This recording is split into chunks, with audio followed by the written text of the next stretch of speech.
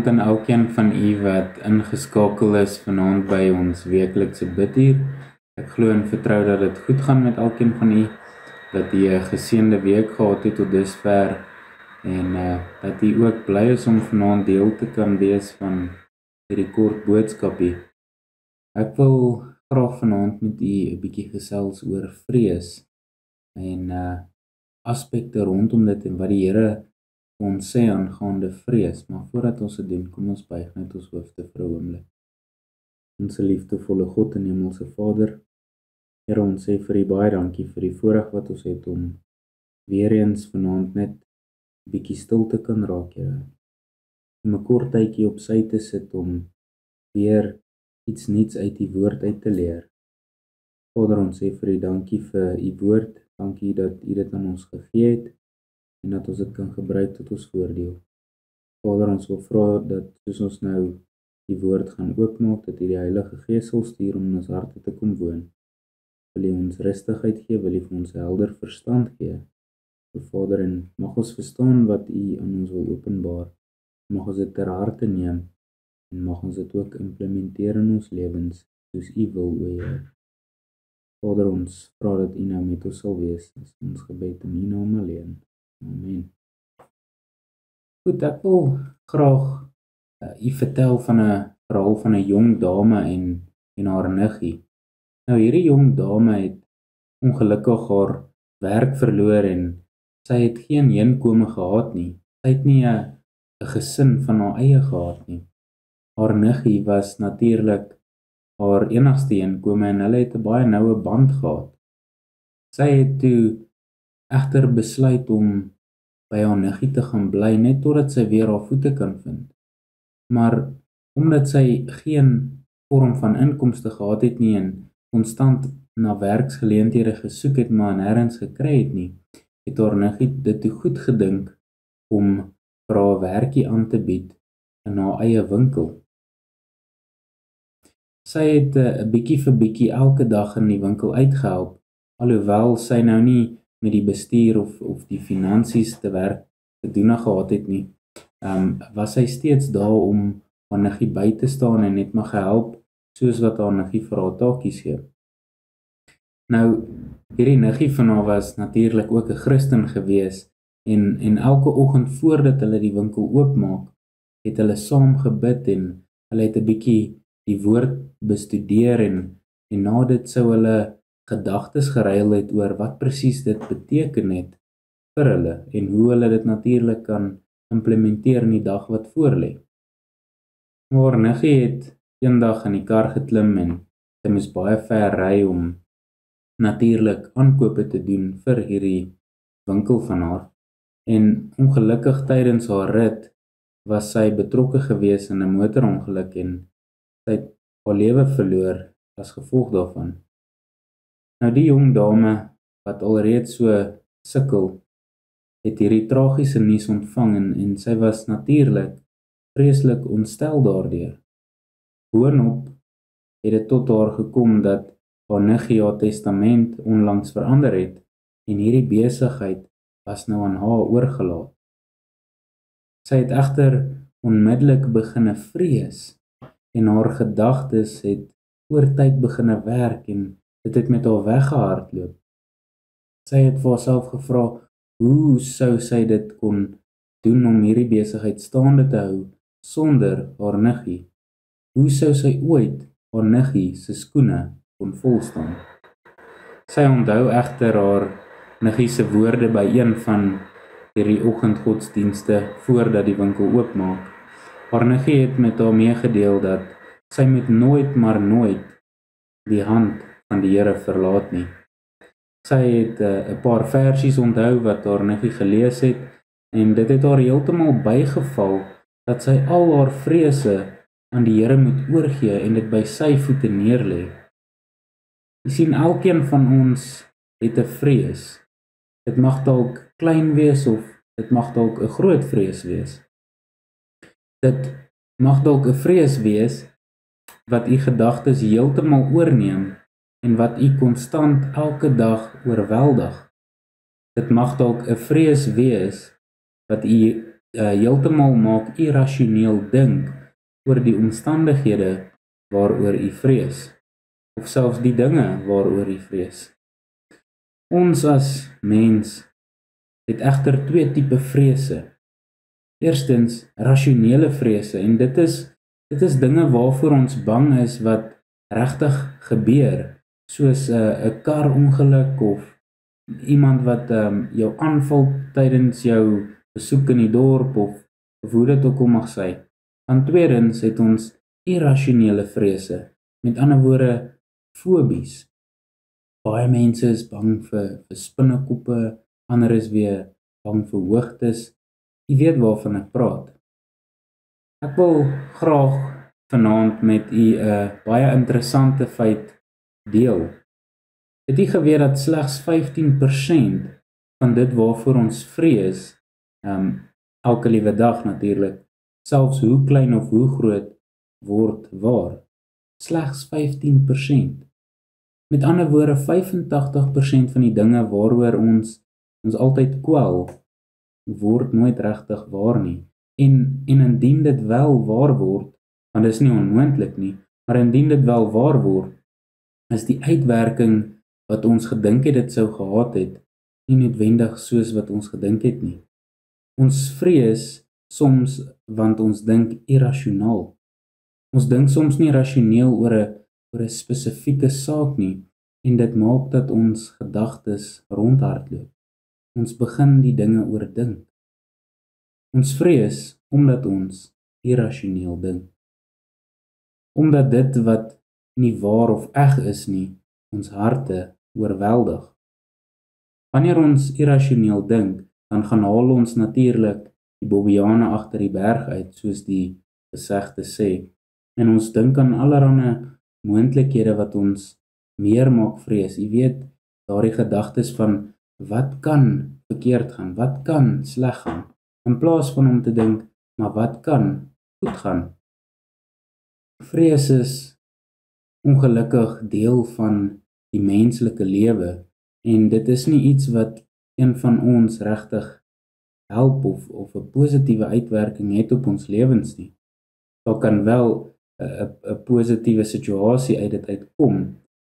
Maar wanneer ons dink aan vrees in sy in sy natuurlike vorm en hoe dit elke dag ons gedagtes oorheers, dan is dit nie goed vir ons nie. Dis nie selfs goed vir ons gesondheid nie.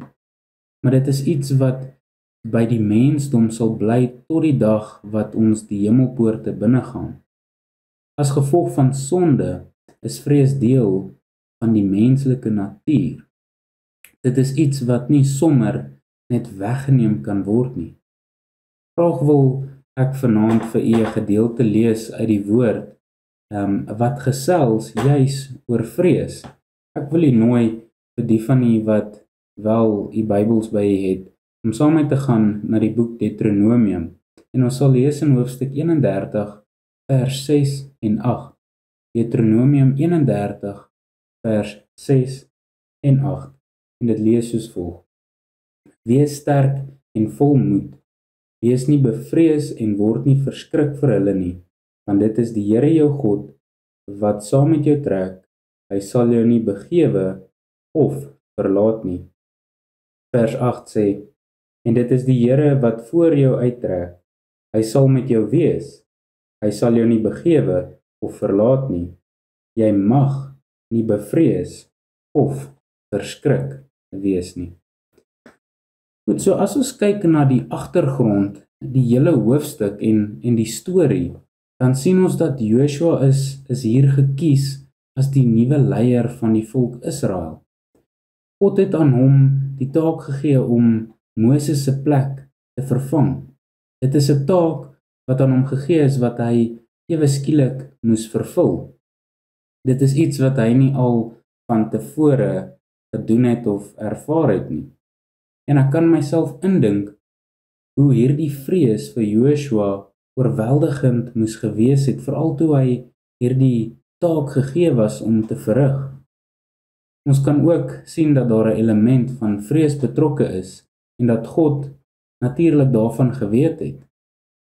In in in die hoofstuk vertel God vir Joshua om nie bang te wees vir die ander volk waarteen Israel moet veg nie.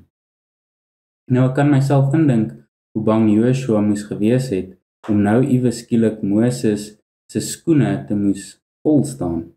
Net soos in ons verhaal hierdie jong dame iewes skielik haar niggie se skoene moes vol staan in hierdie besigheid wat aan haar oorgegee was. Jy sien Joshua moes 'n taak verrig wat hy moontlik nie voorgereed was nie al het hy self so gedink. Maar ons sien egter dat God gevoel het hy is gereed en indien nie sou hy steeds leer uit daardie ervarings. Interessant, soms word ons in situasies geplaas wat ons nie altyd van hou nie, wat ons vreesbevange maak, wat ons maak stres. Maar wanneer ons eendag terugkyk, dan besef ons wat 'n groot leerskool was dit nie. Die Here het my hierdeur gedra. Goed, kom ons kom terug by by die versie. Jy sien in hierdie versie gee God die opdrag dat Joshua nie moet vrees nie. Dit is 'n opdrag. Met ander woorde, dit is 'n bevel. Ek wil weer net klem daarop lê in vers 8 is waar ons dit vind. Dit sê en die en dit is die Here wat voor jou uittrek. Hy sal met jou wees. Hy sal jou nie begewe of verlaat nie. Luister, hier kom dit. Jy mag nie bevrees of verskrik wees nie. Jy mag nie. So as God iets beveel, is dit iets wat gedoen moet word, ongeag hoe enige een van ons daaroor voel. Ek kan myself indink hoe Joshua die stryd in homself moes beklei het, die stryd tussen vrees en en gehoorsaamheid. Joshua moes konstant dink, moet ek vrees of of gaan ek maar gehoorsaam wees aan God? Hy moes kort kort in sy hart beklei om nie toe te gee aan die versoeking van vrees nie. Hy het geen ander keuse gehad as om net God ten volle te vertrou nie. Dit is so maklik om toe te gee aan die oorweldigende gevoel van vrees. God verseker egter vir Joshua dat hy daar is vir hom en dat hy hom nooit maar nooit sal verlaat nie.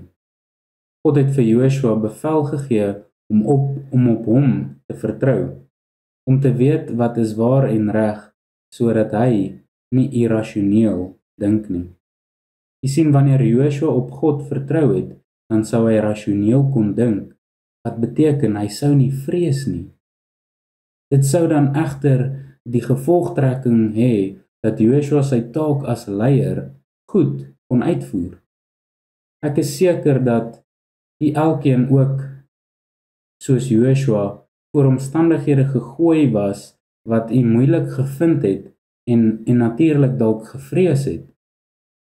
U het miskien ook al irrasionele gedagtes gehad wat u maak vrees het. Maar God beveel u vanaand om nie te vrees nie. Wat ook al u bang maak, moet ons aan hom oorgee en by sy voete neerlê.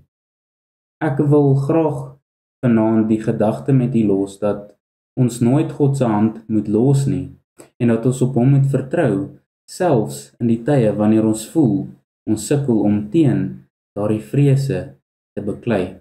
Ons moet aan hom vashou en in hom vertrou met alles wat ons het en wat ons is. Amen. Ek sê vir u baie baie dankie vir u tyd dat u hierdie paar minute afgestaan het om te luister na die boodskap. Ek glo en vertrou dat dit vir elkeen van julle ietsie beteken het.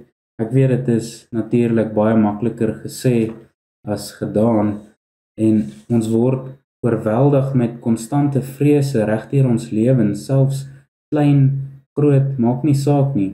Maar die Here sê ek is met julle. Julle mag nie vrees nie. En uh mag dit vir elkeen van ons hoop wees en mag dit vir ons uh woorde wees wat ons na in die hart lê en wat ons sommer warm maak van binne af. Goed, kom ons buig net ons hoofde vir 'n slotgebed. Ons liefdevolle God en Hemelse Vader, Here ons kom net weer eens dankie sê dat ons 'n koning dien wat homself ontferm oor ons as sondige mense.